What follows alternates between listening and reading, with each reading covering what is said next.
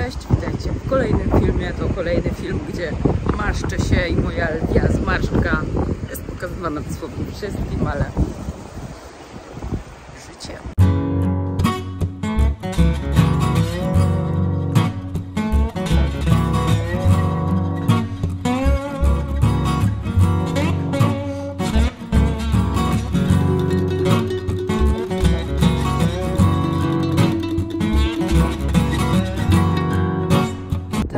Że musiałam sobie tutaj przykucnąć e, za murkiem, e, żeby trochę się od tego wiatru odgrodzić.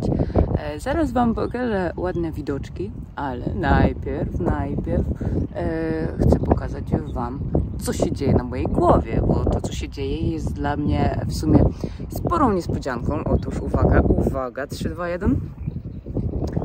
Posiadam włosy.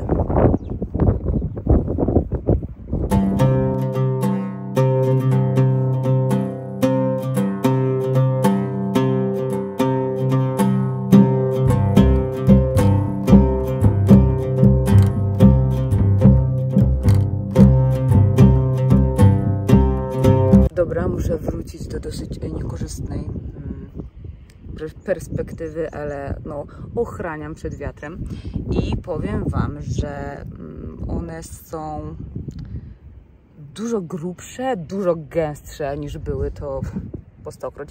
Nie mówię oczywiście em, porównując tego do tego, co się działo podczas chemii, tylko mm, do tej mnie sprzed pół roku. Więc są dużo gęstsze, e, trochę za kolami zarastają, to super. I patrzcie, nawet mam takie o. One teraz i nic z nimi nie robią.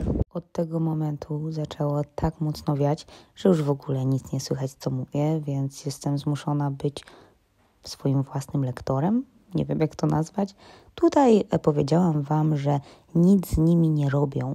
Nie wiem, kogo miałam na myśli, czy mam jakiś może um, sztab fryzjerów, o którym nie wiem, ale ja sama niewiele z nimi robię. Wiadomo, myję je, czasami nawet nałożę jakąś odżywkę czy maskę, ale e, poza tym wcieram e, serum na porost włosów od Sylwii z kanału na chemii i koniec. W sensie wcieram to tylko raz na jakiś czas, w sumie wtedy, kiedy mi się przypomni. E, Teraz Wam pokazywałam, że o, mam tutaj takie dziwne kępki, E, no i te włosy mi sterczą. Są na pewno dużo, dużo gęstsze.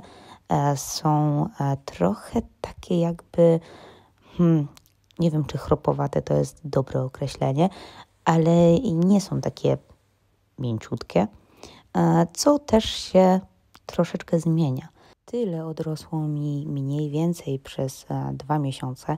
Nie wiem, kiedy dokładnie one zaczęły odrastać, więc e, powiedzmy, że około dwa miesiące.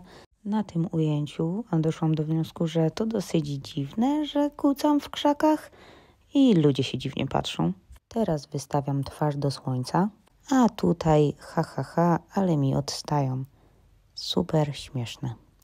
Przy okazji, jak już do Was mówię, zapraszam Was serdecznie na mój Instagram, bo prowadzenie go stanowczo coraz bardziej mi się podoba. Myślę, że to by było na tyle i mam nadzieję, że widzimy się w kolejnym filmie.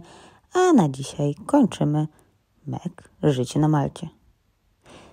To, to chyba to chyba zabrzmiało, jakbym kończyła życie na Malcie, albo chociaż życie. Aha.